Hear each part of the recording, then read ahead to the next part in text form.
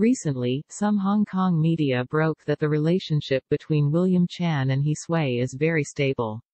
According to people familiar with the matter, the two are very sweet now. They have even met their parents, and there may be fruitful results.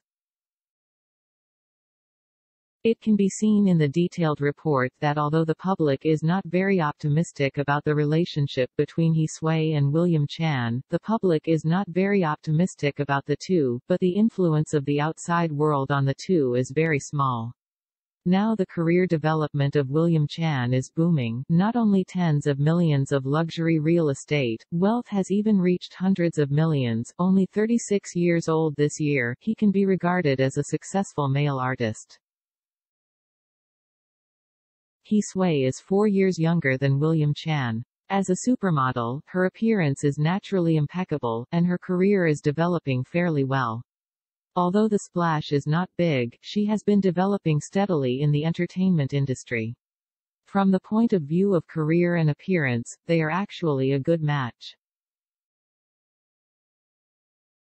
As early as mid-August this year, some media shot the two low-key meeting for fitness, and spent three days together, so the media directly pointed out that their relationship was exposed, but the two did not respond at the time.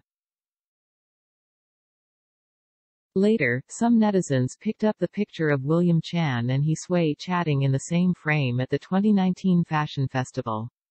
It seems that the personal relationship is good. This can also explain why the two people usually have no intersection, but they suddenly burst into love. It may be through some activities to recognize and produce feelings.